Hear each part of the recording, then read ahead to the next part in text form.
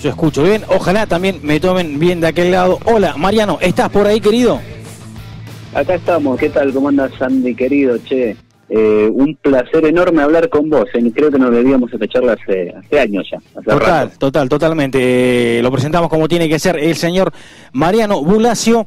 Eh, conductor, yo diría productor, creador, todo del Expreso del Metal, ¿no es cierto? Gracias, gracias querido. Me, parece que era un poquito grande esas cosas, bueno, sí, en parte sí, viste cómo es esto de hacer radio, que tenés que, aprender un poquito de todo, edición de sonido, edición de video, tenés que aprender a hacer flyers, tenés que aprender a, locutar también, que, es importante, ¿no? Que creo que es eh, parte fundamental de este laburo. Mira, te, te comento, antes que nada, mira, yo soy así, me gusta hablar y contar cosas por, por arriba, eh, Resulta que, hace un tiempo estuve comiendo, estoy acá de, cenaje de, del Gran Buenos Aires, sí, te, un amigo. Te estoy como perdiendo un poquitito, acércate un chiquitín más. Ahí estamos, perfecto. Ahora sí. ¿Se escucha bien ahí? Sí, sí, sí, perfecto. Perfecto. Bueno, mira, vamos con la, con la anécdota de acá de, del oeste. Somos de gente de juntarnos cada tanto con músicos y, y amantes del heavy metal. ¿Viste? Me decían en un asado hace poco, me decían, eh, está bueno hacer radio porque es fácil, es como juntarte en la casa de unos amigos, como ahora que estamos comiendo un asado, tomar unos vinos y hablar de cualquier cosa. Y en parte es así, yo creo que un 10% es así, el resto no es así, o sea, llevar un programa conlleva un poco de estudio, organización, sobre todo, tener una hoja de ruta mínimo más o menos, ¿no? Así como... Y es, un poco, es un poco de todo es un poco de todo, exactamente. Por ahí te, te podés dejar llevar por la, por la dinámica del programa, por ahí eh, las pautas mismas. Eh, ahí lo, van viendo, pero bueno, eh, tampoco vamos a, a desmerecer a la gente que dice que es fácil. Este, si ellos dicen que es así. es cuestión de, animarse, ¿viste? Cuestión de animarse y hacerlo, pero es algo hermoso. Creo que, que la radio tiene una, una mística y una magia especial y Total, escuchando tu, programa y coincidimos al 100% en el hecho de que nosotros solamente somos comunicadores sociales, estamos para mostrar cosas, para mostrar el arte, la música, lo que sea, ¿no? Eh, somos, el medio. Un, mero nexo, exactamente. Somos el medio, totalmente. Sí, sí. bueno, hablando de eso, eh, disculpa que te, te interrumpa, Hablemos un poquito del Expreso, contamos, contanos un poquito cómo, cómo nació aquello, eh, cuántos años lleva al aire, sale Expreso del Metal y, bueno, como decía, cómo surgió la idea, eh, mutó en su momento, contanos. Sí, mutó bastante el programa, arrancamos a principios del año 2015 con la idea de llevar al aire, eh, en esa época, ustedes habrán escuchado la canción de Divididos, que una frase típica de una de sus canciones, el, la, la está en el oeste, y, hace unos años se había perdido ese agite en cuanto a lo que es la movida metalera y rockera por cosas y cuestiones municipales, ¿no? Se empezaron a cerrar un montón de lugares. Entonces dijimos, bueno, vamos a hacer un programa, vamos a devolverle un poquito el, lugar que siempre tuvo la zona oeste del Gran Buenos Aires como referente del rock, del punk, del heavy metal, ¿no? Y nos decidimos hacer un programa, había muy pocos programas en ese entonces, hoy por hoy hay un montón y nos parece bárbaro y no, nos comunicamos y nos llevamos muy, pero muy bien con, con todos los, colegas que hacen radio, eh, porque en definitiva nosotros nadie nos, nos paga un mango por hacer esto, hacemos puramente de corazón. Olvídate. Eh, no lo hacemos para vivir de esto, lo hacemos porque necesitamos, porque lo necesitamos y bueno, es una forma de vida, no económica, pero sí es una forma de vida. Va por ahí, va por ahí. Che, poneme en contexto de, de qué año hablamos. 2015 arrancó el programa, eh, arrancó como un programa, dijimos, bueno, vamos a pasar música, pasábamos clásicos y qué sé yo con el tiempo, eh, empezamos a montar, hicimos un programa más bastante, bastante under, pero con, con under de calidad y presentando bandas como, como se lo merecen y como tendrían que presentar en radios grandes acá tipo Rock and Pop o, o Vorterix, ¿viste? Eh, con toda una producción bien hecha, no nos fijamos mucho en eso, eh, en la parte gráfica de cómo presentar el programa, cómo hacer un flyer. Editamos tres compilados ya que fueron totalmente gratis, creo que vos tenés algunos. Sí, sí, me ha llegado alguno. Los mandamos para todo el país. No, no, no, es un placer que más que nada es material de difusión, ¿viste? Eh, y se hizo con una buena gráfica, todo como, como tiene que ser. He inspirado en programas como El vuelo del dragón, por ejemplo, que son programas con muchos, muchos años de trayectoria y que cada tanto sacaban un compilado y bueno, digamos, no es una forma de copiar Andy, sino más bien de, mantener vivo eso, porque en definitiva yo he conocido muchísimas, pero muchísimas de bandas gracias a todo, compilados tanto de revistas y fanzines como de programas de radio de, distintos lugares, ¿no? Sí, Quisimos seguir un poquito con esa bandera. Eh, llegamos a estar tres compilados, el cuarto que tendría que haber salido el año pasado, no, o el anterior, el 2018, no pudo salir por cuestiones económicas, se encareció todo, bueno, ya sabemos todo, el proceso por el que pasó el, país. Un bardo total. Sí, sí, terrible. igual, este, eh, déjame meter una, una postilla con, con aquello de, copiar. Me parece a mí que es como decís, es, seguir izando la bandera nomás. Creo que radialmente, tanto televisivamente también, está todo inventado, solamente que uno le, pone su, su, impronta. Eh, pasa por ese lado. ya copiar no podemos copiar nada, está todo inventado. Es como dicen, la pelota ya redonda. Claro, totalmente, ya está todo copiado eh, es como vos decís también, es una cuestión de, impronta, de cómo llevas el programa, y qué sé yo. Mira, nosotros acá, el, lo que es el, plantel del Expreso fue mutando durante los años, ahora estamos hace dos años con, con un plantel fijo, eh, y este año, estos últimos dos años nos hemos dedicado puramente a la difusión de lo que es el metal en la zona oeste sin sin desconocer ni desmerecer eh, bandas que vinieron a visitarnos de distintos puntos del país. Siempre pasamos materiales de, ahí del sur, del norte también, que hay una movida muy interesante en los últimos años. Pero en cuanto a lo que es a cobertura y difusión, eh, no, nos dedicamos más a lo que está cerca nuestro, justamente por esto que te comentaba al principio, que no estaba la movida acá, se había muerto y estos últimos dos años, eh, gracias a iniciativas con un montón de bandas de la zona, de otros programas de radio que han, que han empezado a surgir, eh, hemos realmente, y estoy muy orgulloso de esto, de, hemos logrado volver a poner al oeste en, un lugar de preponderancia en cuanto a lo que es la movida rockera, pero no por orgullo, Andy, por una cuestión de que hay muchos pibes, o sea, nosotros vivimos en, en zonas fabriles, eh, ciudades dormitorios, con, como se le dice, pibes con muy pocos recursos, ¿viste? Y no todos pueden ir hasta Capital a ver un buen show.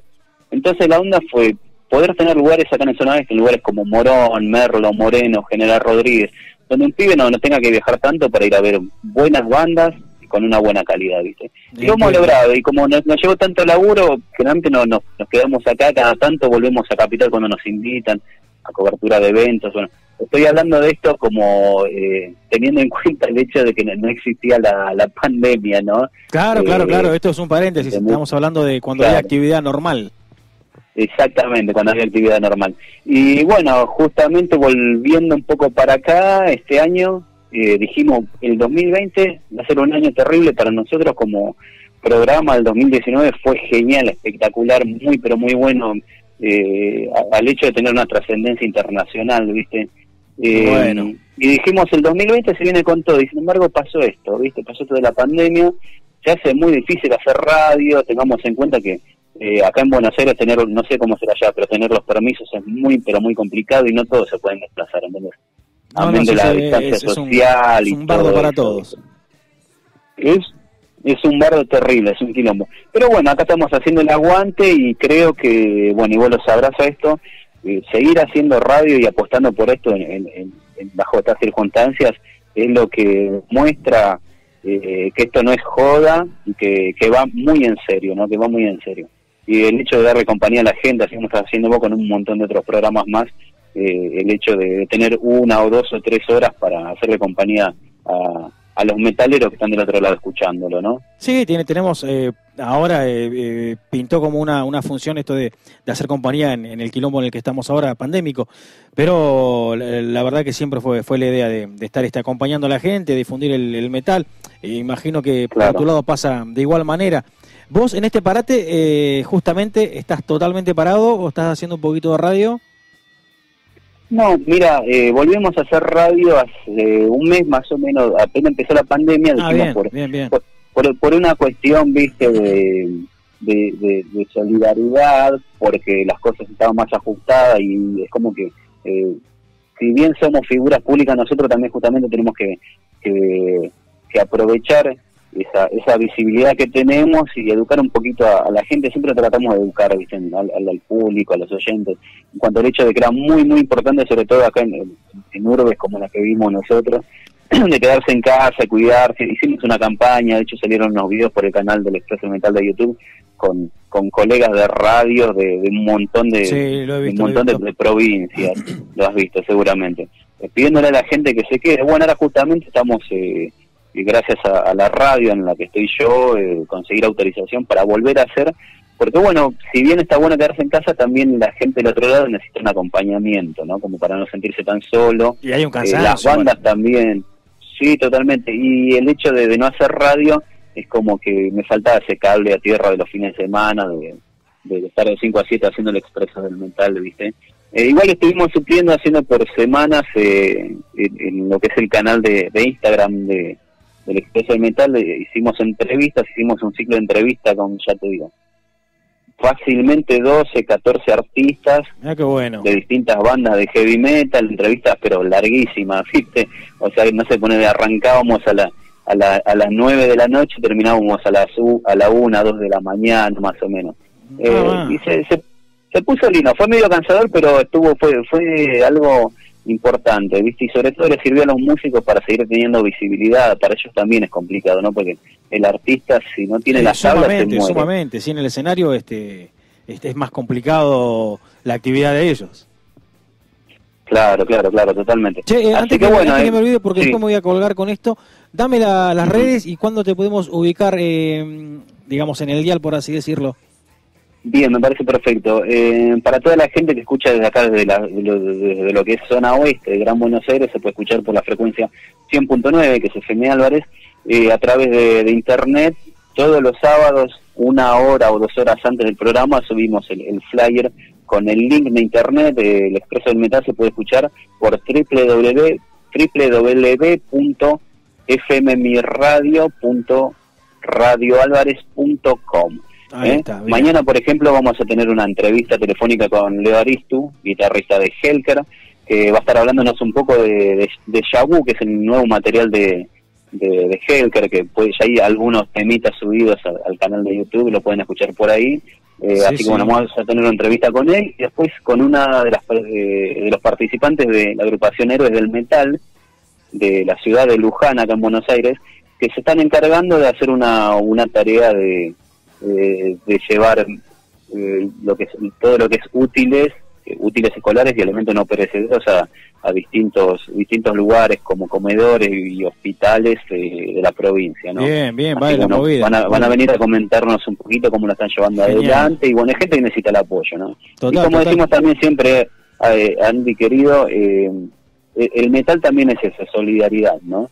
y todas esas cosas ayudan a que a que la, gente mayor, eh, las personas grandes no, tengan miedo de que el hijo se, haga metalero con ese prejuicio tonto, ¿no? De, que va a terminar viviendo en un barrio de emergencia y drogado todo el día, ¿no? Sí, por, suerte cada vez, cada vez son menos los que piensan eso, ya, ya la gente se está ayornando y sabe que por vestir así no, no, no es mala persona.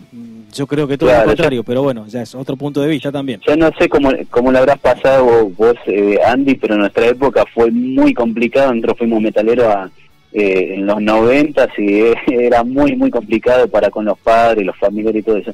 Y con el tiempo los padres, viste, se dieron cuenta de que era una forma de vida. Eh, viste cómo son muchos padres, dicen, no, es una cepa de la vida, ya va a pasar, ya va a pasar bueno, acá estamos con casi 40 años y no planeo dejarlo todavía. No, yo soy muy joven, no, no, no llego a esa edad, yo apenas tengo 17, pero... Sos un campeón. no, 42, 42. 42, tranquilo, olvídate, este, estamos bastante pasaditos ya. Y sí, sí, sí, sí, siempre se, este, se ha vivido con esa mirada por encima del hombro de la gente, pero yo te digo, eh, ya, ya está cambiando aquella sé yo, estaba cargado el, estereotipo del, heavy metalero. Pero bueno, ya, ya pasó, quedó de modé, me parece. Claro, totalmente. Así que bueno, ahí pueden escuchar el Expreso de Mental los fines de semana por eh, nuestras redes sociales, por la página de FM Álvarez también a través de, Facebook. Eh, bueno, están en todas las redes sociales. Y también en una aplicación, te buscas en, el After FM Álvarez y ahí la encontrás, te la bajás al celular y escuchas el Expreso de Mental y toda la programación de FM Álvarez 100.9.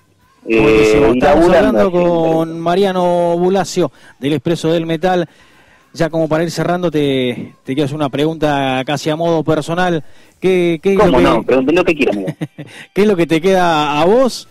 Eh, A ver si, si mañana te dicen se acabó, no se hace más radio o por una cuestión tuya no la querés hacer, ¿qué te quedaría a vos de esto? Qué linda ¿Qué gusto te quedaría?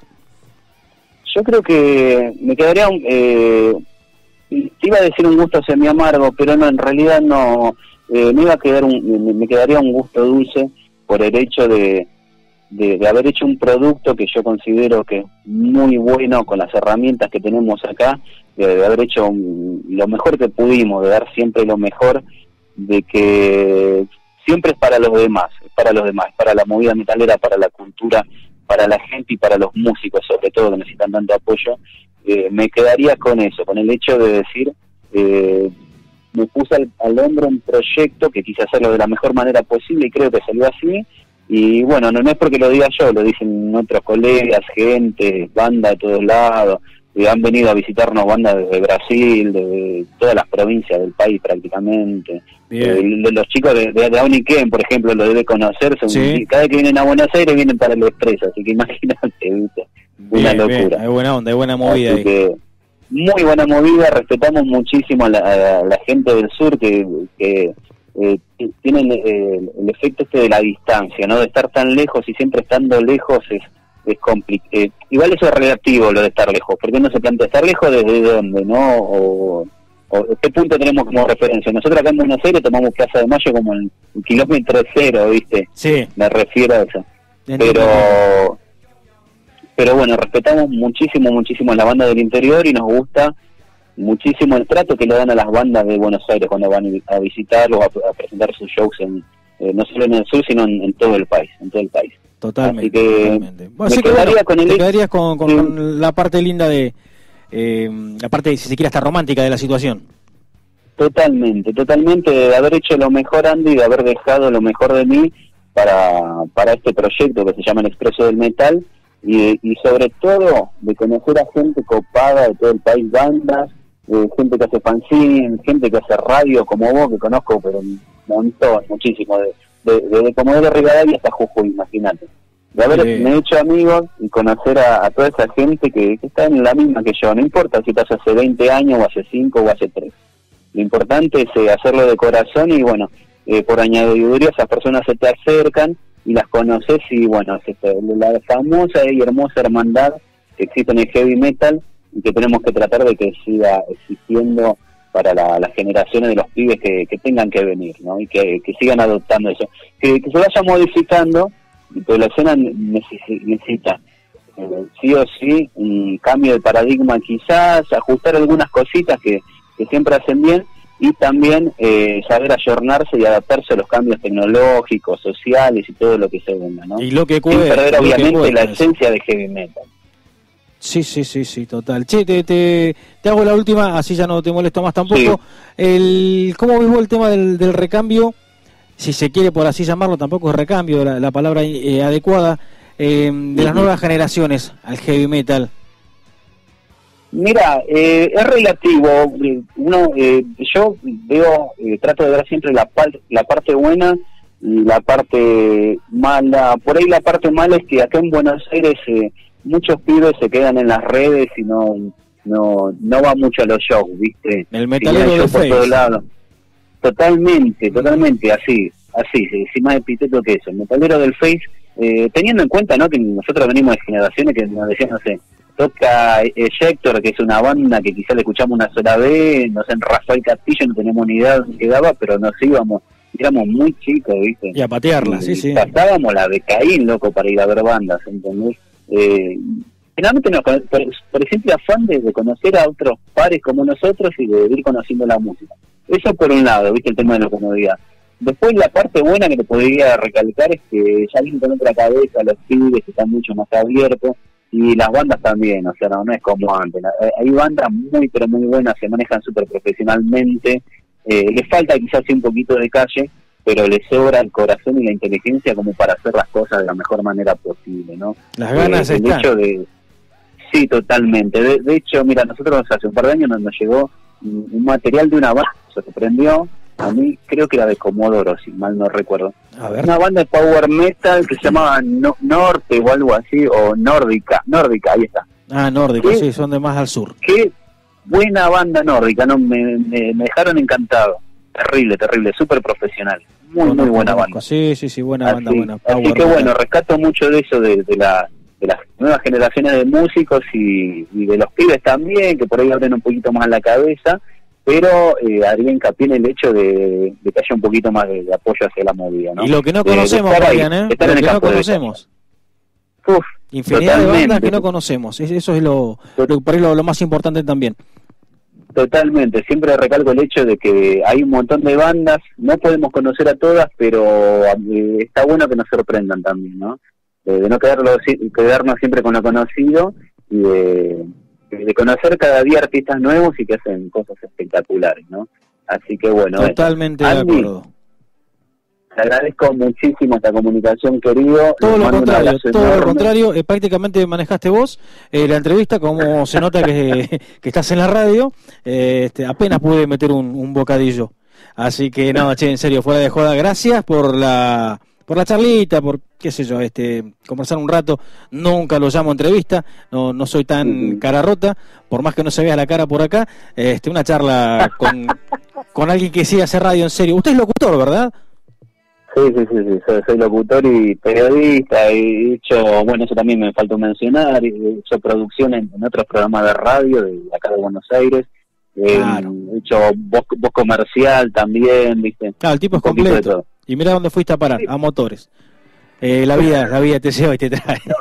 es, un placer, querido, porque eh, es otra cosa que siempre digo, sea loco, podría estar haciendo un programa de rock común, un programa de magazine de actualidad y sin embargo, y ganar unos pesos, ¿no? Y sin embargo estoy acá todos los sábados con el precio metal haciendo un programa para ustedes totalmente gratis, haciendo compilados totalmente gratis para que lo disfruten eh, y para que lo respeten también, ¿eh? porque hay, hay mucho laburo eh, haciendo esto. Hay que hay que valorar un poquito el laburo de los demás. No, esto no es laburo, esto es apenas. Eh, yo te dije ya este por por privado. Algún día nos va a salir bien. Dale para adelante que está saliendo muy bien. Eh, seguro que tenés una, una audiencia muy pero muy linda, así que bueno, les mandamos un abrazo enorme a todos ellos. Me encanta el sur, ya voy a volver eh, me encanta, me encanta. Es, una parte de nuestro país con muchísima, pero muchísima mística. Cuando guste, cuando guste, mi amigo. Ahora sí, lo voy a dejar tranquilo, lo despido. Gran abrazo, viejo. Gracias por los minutos cedidos y estamos en contacto para lo que sea, usted ya sabe. Fue un placer, mi querido. Abrazo grande y aguante motores del metal, che. Chao. Muchas gracias. Adiós. Dejamos un gran abrazo al amigo Mariano Bulacio ahí lo despedimos, cerramos el mix y nada, che, este un, placer que nos damos con colegas de otros lugares, digo colegas, el señor es locutor, yo nada, en esto estamos.